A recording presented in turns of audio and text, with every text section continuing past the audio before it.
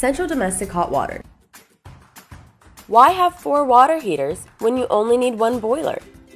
Heatmaster's Central Domestic Hot Water Solution provides central heating for a hot water tank big enough to supply hot water to all your home outlets.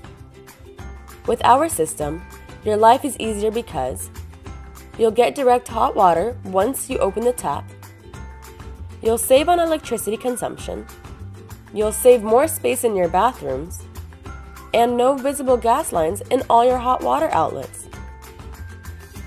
There are two ways to heat your storage tank. Gas operated boiler.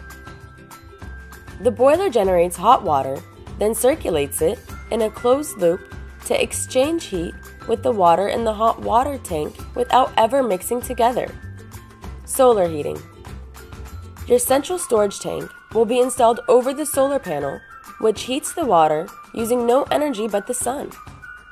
And one more thing the solar heating solution is a money saving machine because it uses no running cost. But just remember if you choose to have a central hot water network, you must take into account when designing your sanitary network. Finally, hot water everywhere and from one source with Heatmaster, your cold buster.